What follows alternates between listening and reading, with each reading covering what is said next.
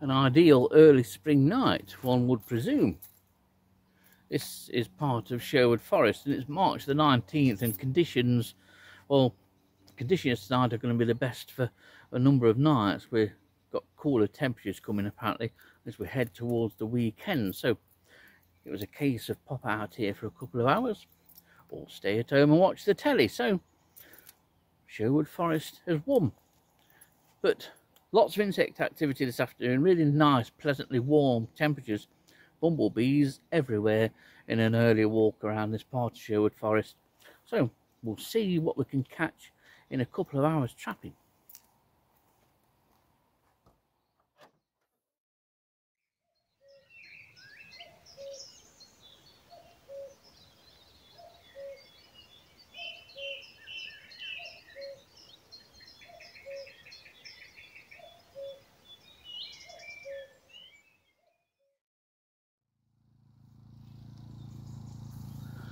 The sky is darkening quickly now. It's just coming up to quarter to seven. So, generator has warmed up nicely. So, time to fire up the light.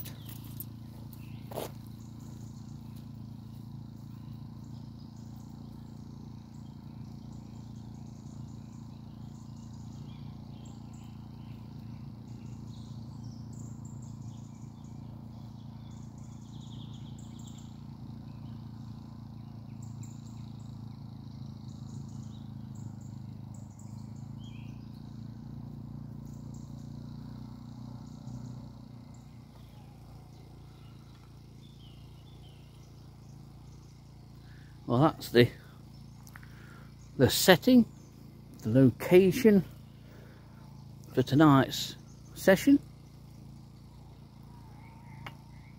Hopefully the temperature won't drop too quickly. It's not forecasted to drop that much actually. It's, started, it's forecasted to be quite constant throughout as the cloud builds up. There's a frontal system coming in.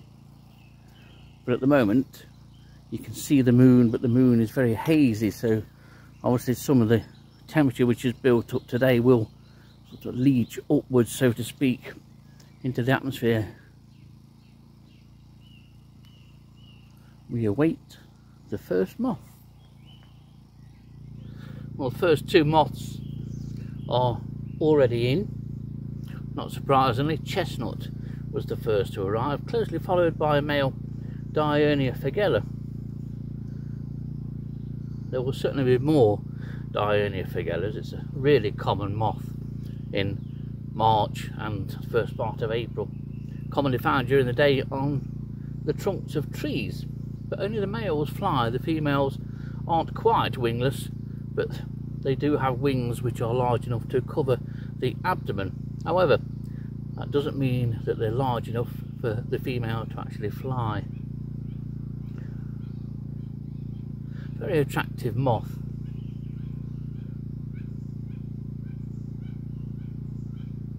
And that sounds like mandarin duck to me. So, first two moths in, we'll see what else comes. Well, it's very quiet, just two rather worn chestnuts in and this lone Diurnea fagella at the moment, so I thought, while it's quiet, I'll show you Diurnea fagella. I'm not going to film everything, just anything of interest, but I will be putting photos in of some of the other species that come into light. This is just going to be a relatively short session. That's the plan anyway.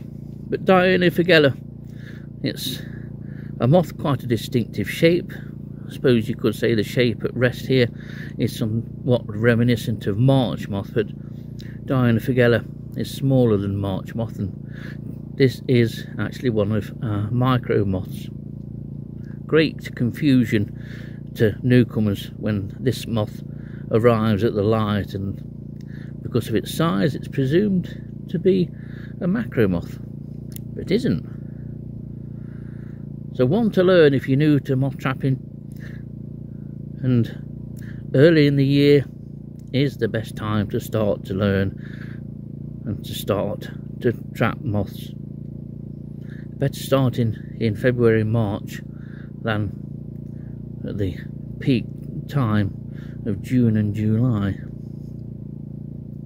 So Diurnea fagella, one of just three moths in so far. Well, here's one for the chestnut fans amongst you, which there's probably very few because this is a moth. It is fairly drab, I must admit, certainly by the time we get round to March, it's lost any of the attractive coloration or the more intense coloration that individuals have once they've just emerged in, in autumn. Obviously, throughout the winter months, these moths will fly on mild nights and often find them on the trunks of silver birch by torchlight. But by the time March comes around, they're pretty drab affairs, in all honesty. And as it's a common moth, it suffers by being so common. And many people neglect it. But two of these in, and very little else.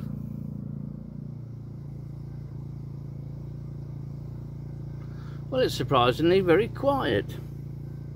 I did expect more of a flurry of moths coming in, but we're almost half an hour in and just the three moths, the two chestnuts and the Diurnea fagella, and they came in very quickly.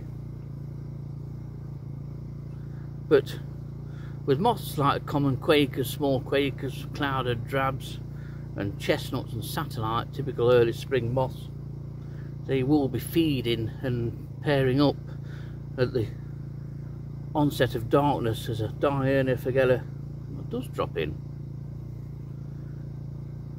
So we will see how it goes. Quite a lot of goat sallow around where I am, which are probably full of moths. That's probably where they all are. They'll be up there rather than down here, but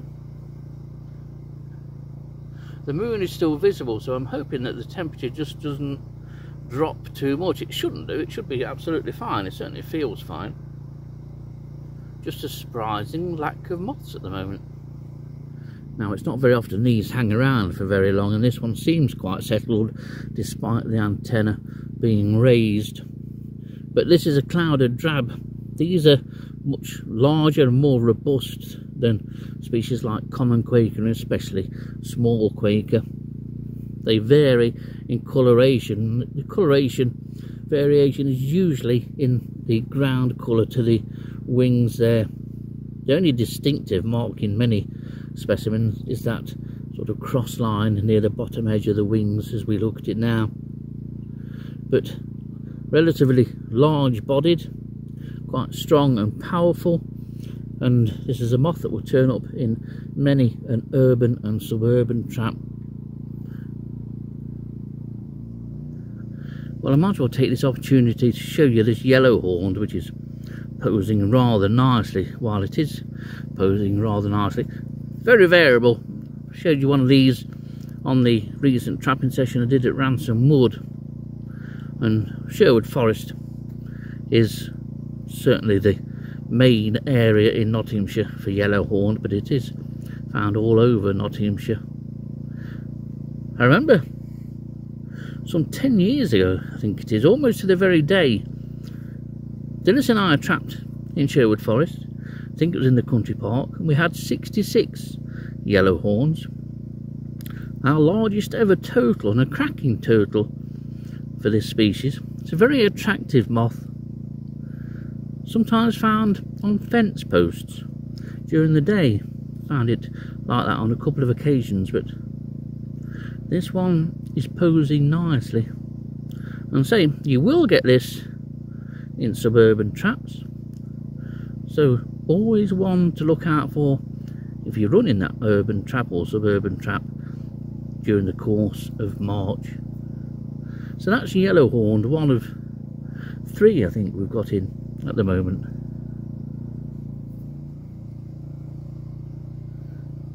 Well, the number of moths coming in, as you can see, is increasing now. The majority are Diurnea fagella, but I think by the looks of it we're up to four yellow horns now and a number of brindled pug and we're on out of interest, we're on 738. So, right, just over 50 minutes in. And it's really been since about half past seven when the increase in numbers coming down to the light occurred. No other micros apart from Diurnea fagella. I was hoping we might get an early Acleris, of which there's a number of species. But doing quite nicely now after a slow start. There's, in all likelihood, there's going to be nothing unusual tonight. In this video, is just to show the kind of moths that you can attract in a couple of hours in any area of deciduous woodland and have a nice time doing it at the same time.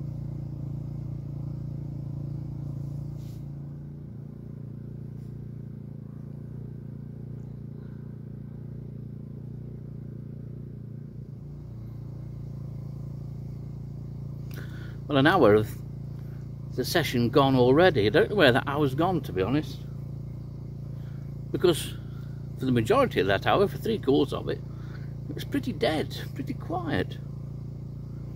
But now moths are coming in, and if I just go through the list that I've got here, uh, now I've got two chestnuts, nine Diurnea fagella, four brindled pug, maybe a couple more actually, five march moth, four yellow horned, two small quaker, just a single clouded drabstill, two common quaker have come in, and pine beauty which is in here, which is going to be the most beautiful moth of the evening.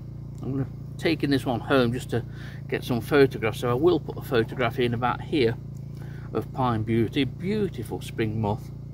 And the first oak beauties have just arrived too, actually, within the same minute.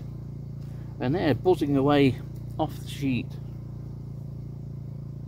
So, a big improvement, and the temperature has gone down to 11 started off at 13 and after an hour is 11 so hopefully it shouldn't go down any more than that. But conditions are still the same. It's still light cloud. I can still see the moon up there. Although the moon is hazy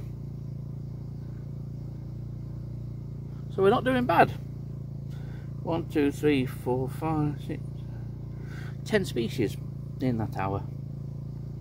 Well 11 possibly one because I've got to identify it because it seems very early but it looks from what I can see to be a grey birch. I forgot to to mention that. But March middle of March would be early for grey birch in my experience. I had one in April but what are flight times nowadays 20 30 years ago flight times given in books probably meant more than what they do now.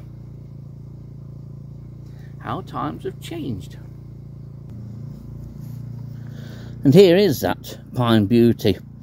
There's two forms to Pine Beauty. There's this sort of pale form, and then there's the, the typical form, which is much brighter and more orangey or brownish. Either form, it's absolutely beautiful moth. It really is. But this is the form that I don't trap so often. We may well get the other form in, but not a moth that I trap regularly. But obviously, there are still pines in this part of Sherwood Forest.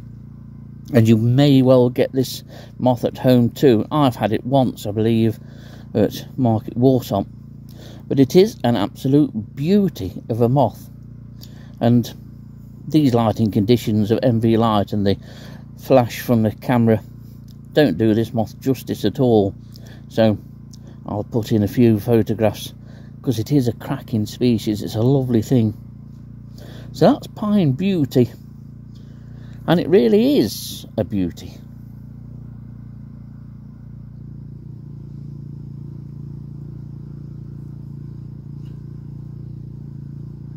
the power to attract moths by the use of mercury vapor light is renowned and it is the best method of attracting moths. You can use an ordinary actinic bulb, less bright, you'll get less moths.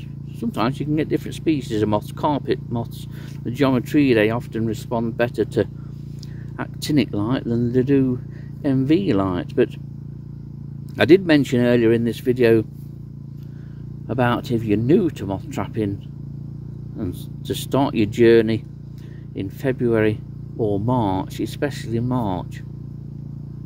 And that's because the number of species is less, considerably less than if you were to try and start trapping in June and July and the newcomer or novice to moth trapping will be completely overwhelmed by the sheer number of moths. You'll always get less moths if you trap from home, but you can still get really good numbers. I remember one particularly good night Dillis and I had over 90 species by the end of a night and that was in the garden and that's excessive and rare from the garden and if you come out into woodland even in the early months of the year you will catch moths but you'll catch less of them and it is easier to keep a check on those moths that come in so my advice would always be to start trapping early, but just beware that you will trap less moths at home. Sometimes frustratingly so. This year a lot of people have had completely blank nights and don't bother really trapping if the temperature is going to drop much below 8 degrees centigrade. The warmer the better. By starting your trapping journey early in the year, it gets you prepared to a degree for your first summers of moth trapping.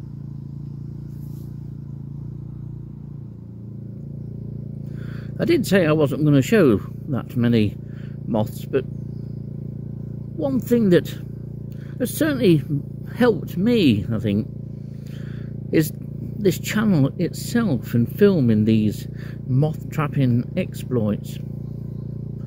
Because to show other people the beautiful moths that we do have here in the UK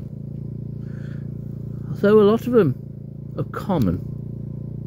When you trap regular you tend to ignore them. You just say oh oak beauty such and such such and such and you just total the moths up.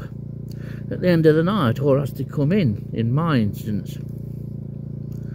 And over the years you you tend not to look at them too much. You're constantly looking through them for that anticipated and hoped for rarity, but you do tend to neglect to actually look at the moths that come in. And there's another oak beauty that you got a glimpse of. And so I've learnt to appreciate the commoner moths more, those moths such as oak beauty that I've tended to overlook when you've seen them year on year for many years, it's nice to be reminded how beautiful these moths are. It's a cracking species. And so I'm very grateful for doing these videos because I benefit as well. And hopefully other people benefit too. So easy to neglect those common species that we get at MV Light.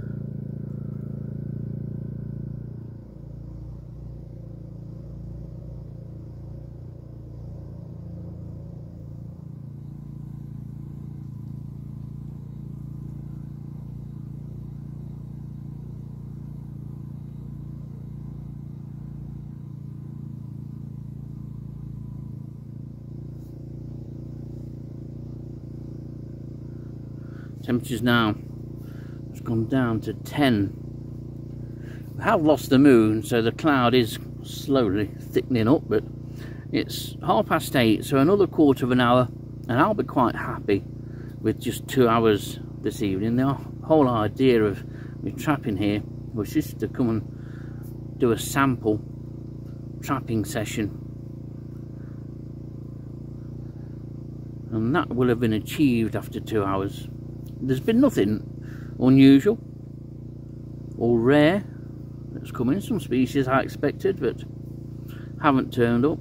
But it's also obvious now how you can so easily miss the flight periods of some of these early moths like spring ushers are long since finished now pale brindle beauty also seems to have ended ended somewhat quickly to be honest but there again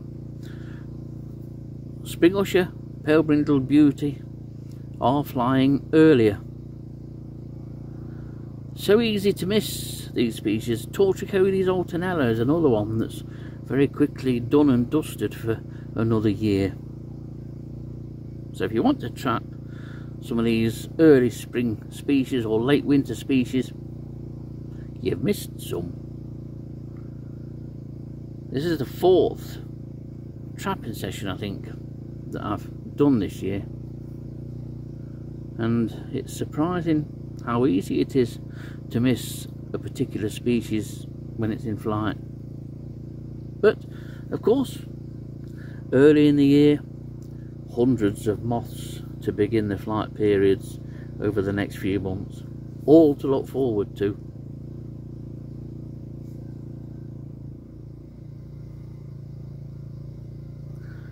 Well, we're at quarter to nine, two hours up. One new species has just come in and that's water carpet. Species that I'd completely forgotten about but that's the first of a number that we'll see over the next few trapping sessions. So, only two hours. Some may say, well, is it worthwhile coming out just for two hours? Well, yes it is. Two hours trapping is better than two hours not trapping in my experience. If you want to catch moths, it doesn't always have to be a long trapping session. It doesn't have to be all night. At least, not to me it doesn't. I'm quite happy with two hours. So, time to start packing away.